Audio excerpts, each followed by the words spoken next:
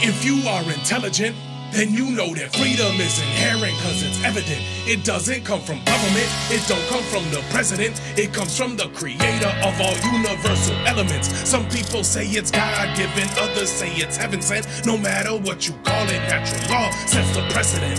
Precedent. Subjective morality's a fallacy. There's laws that we cannot see, like gravity, that people accept happily, but tragically.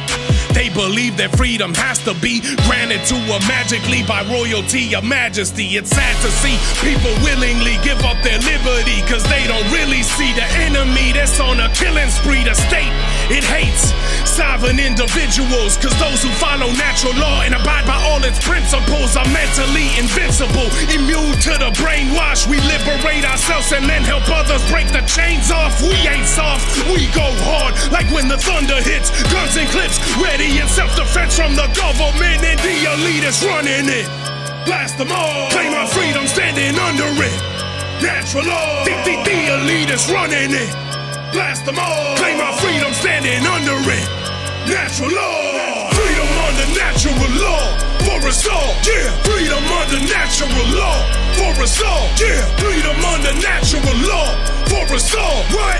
For us all. What? Freedom for us all. What? You know what we do.